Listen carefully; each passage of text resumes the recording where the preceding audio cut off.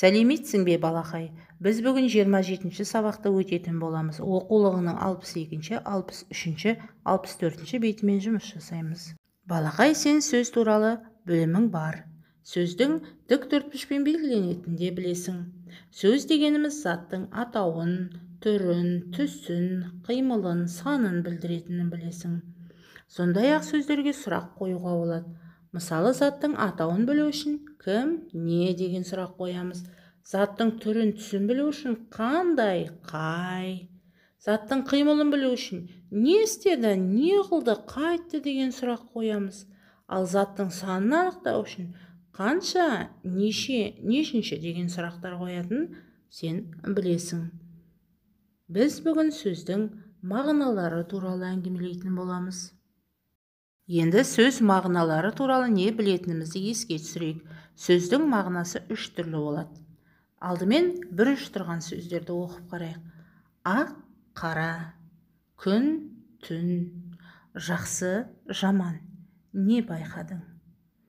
Әрине сен бұл сөздердің мағыналарының бір біріне қарама қарсы екенін байқадың.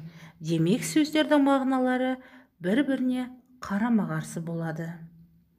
Екінші сөздер қатарын оқып қарайық. Әдемі сұлу көркем. Бұл сөздердің барлығы да жақсы нәрсені білдіреді. Солай ма? Бұны мағынасы жуық сөздер деп айтады. Ал енді біз бүгін сөз мағынасының үшінші түрімен танысамыз. Мысалы алма деген сөзді алайық. Алма деген қыздың да аты бар. Алма деген жеміс те бар. Алма деп кейде біз қимылды да айтамыз екен. Міне біздің бүгінгі сабағымыз қызық болғалы тұр. Яғни бір сөз бірнеше мағына береді. Енді оқулығыңның алпыс екінші бетіндегі бірінші жаттығуға назар аудар. Мен сұрақ қоямын сен сұраққа жауап бер. Дайын болсаң бастайық. Суретте қанша адам бар? Үстелдің үстінде дастарханның түсі қандай? Балалардың аттары кім? Олар не істеп отыр? Мен саған бар болғаны төрт ғана сұрақ қойдым. Мен қанша деген сұрақ қойғанда сен маған қандай жауап бердің? Қандай деген сұраққа қандай сөздерді қолдандың? Әрине сен түстерді қолдандың. Не істеп отыр деген сұраққа сен әрине олардың қимылдарын айттың. Балалардың аттары кім дегенде сен оған өзіңше ат қойып алуыңа болады.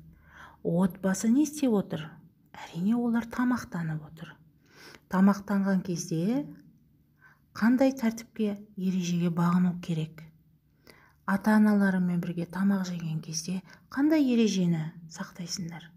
Әрине бірінші үлкен адам бастау керек.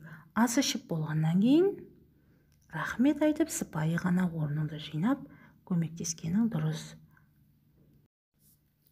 Алпыс үшінші беттегі мәтінді менімен бірге оқи ғой. Бүгін демалыс.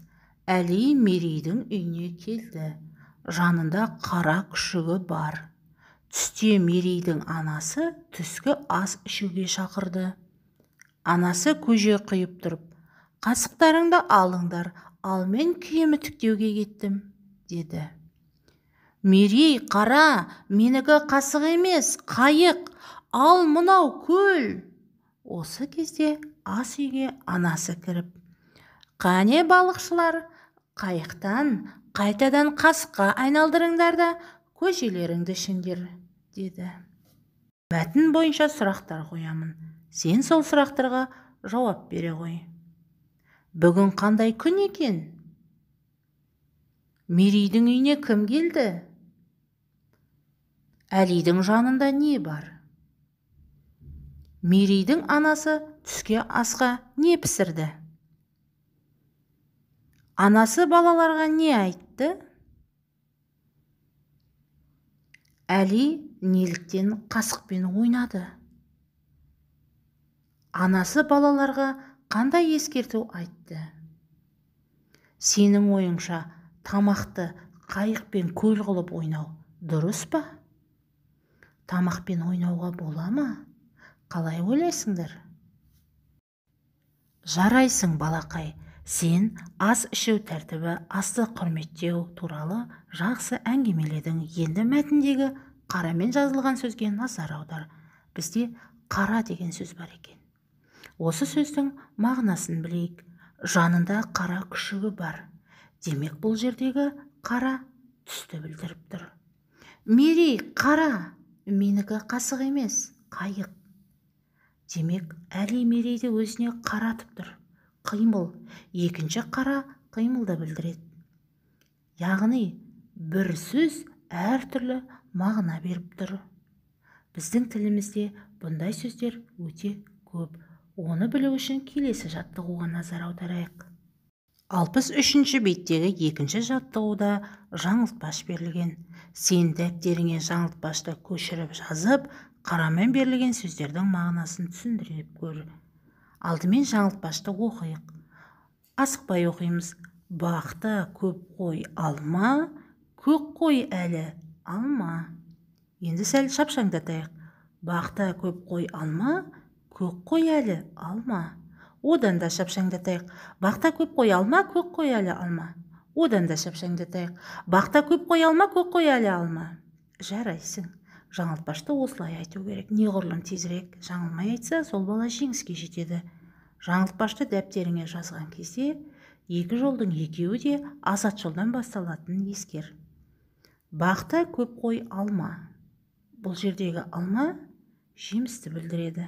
Не деген сұраққа жауап береді. Көк қой әлі яғни піспеген. Алма демек тиіспе ұстама деп тұр. Қимылды білдіреді. Балақай екінші жаттығуды жазып аяқтасаң орныңнан тұрып кішкене сергіту сәтін жасап ал. Жаттығу жасап болғаннан кейін қайтадан алпыс үшінші беттегі үшінші жаттығуға назар аудар. Мұнда саған жұмбақ берілген. Жұмбақты дәптеріңе көшіріп жазып шешуін табасың. Кел екеуміз жұмбақты бірге оқиық. Отқа қойсаң елпілдеп быз быз етіп тұншығар. Тақиясы селкілдеп танауынан бу шығар. Сәл ойлан. Отқа қойған кезде неден бу шығады?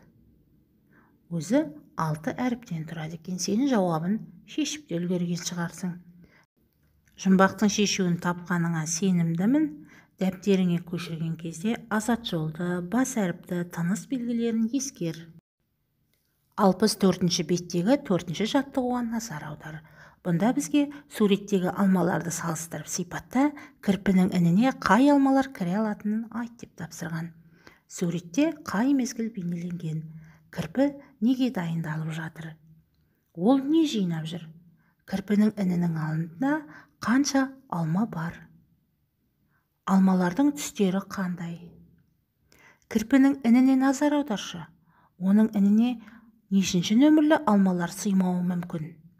Иә жетінші және он бірінші нөмірлі алмалар сыймауы мүмкін. Оныншы нөмірлі алма да сыймай қалуы мүмкін. Жақсы не үшін алмаларды нөмірлеген деп ойлайсың? Осы алмалардың ішіндегі ең кішкентай алмаларды аташы тоғыз бен сегіз. Ең үлкен алманы аташы жеті мен он бір. Үлкен мен кіші сөзі бір біріне қарама қарсы сөз екен. Суретте қай уақыт бейнеленген? Мезгіл. Күндіз солай ма? Күндізге қарама қарсы? Түн өте жақсы. Алмалар көп солай ма? Көпке қарама қарсы сөз? Аз өте жақсы. Енді кірпінің жүзіне қараймыз. Кірпінің жүзі қандай? Көңілді. Енді осы жүз деген сөздің тағы да басқа мағынасы бар. Жүз сөзінің мағынасын ашып көрейік. Жүз бұл бет әлпетті білдіреді. Не? Бет әлпет жүз. Неше? Жүз деген санды білдіреді. Енді жүз деген қимылды білдіретін де сөз бар. Суға жүз. Яғни суда жүзу керек. Бұл қимылды білдіреді. Міне біз қарама қарсы мағынасы қарама қарсы сөздерді айтылуы бірдей мағынасы әртүрлі сөздерді қайталадық. Енді кірпіге алмаларыңды ала қой ас болсын дейміз. Енді біз ә, кірпінің арқасындағы санға назар аударайық. Алтыншы нөмірлі және үшінші нөмірлі алмалар бар. Бұлардың қосындысы нешеге тең? Тоғызға тең. Айырмасы нешеге тең? Үшке тең. Бізде үшінші нөмірлі алма. Жерде жоқ оны қалай шығарамыз? Бір мен екі деп шығарамыз. Өте жақсы сендер математикадан да жақсы білім көрсеттіңдер. Сендерге рахмет менімен бірге болғандарыңыз үшін. Сау болыңдар.